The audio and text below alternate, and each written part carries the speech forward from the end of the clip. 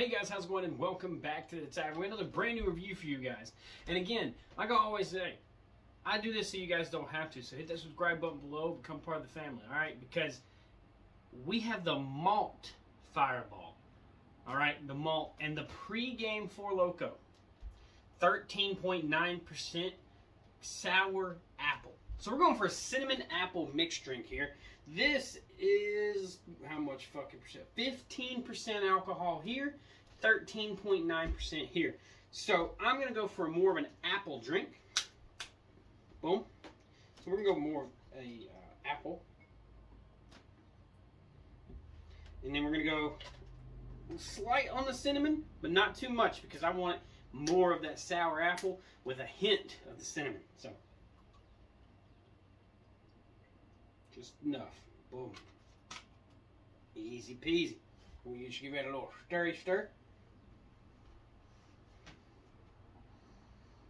Ooh, that smells rough. Not gonna lie. All right, you got it here. Your malt cinnamon apple.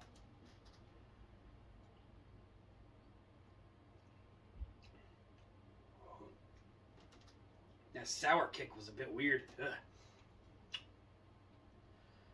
But really sticky. It's not terrible. It's sour. That heat from the cinnamon kind of builds forward. Um, the apple is a very undertone, really nice. Actually, pretty good.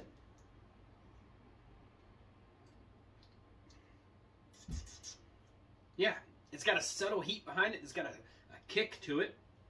Kind of almost just enough to where it's kind of like a chili, like um, like a chelada, like the Modelo ones from like yesterday, the other day, but just enough heat that it's got just enough warmth. That's really good. That would be an amazing summer drink or fall drink right there with the heat in it. Hey, remember, you never know what could be good unless you mix it up. That's good.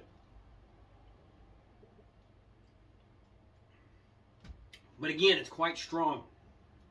15% from the fireball, 13 5 on 13 9 on here. So 14 and 15 for malt is a very heavy concentration. So guys, be careful with it. Mix them together. Have fun with it. Put the fireball with everything.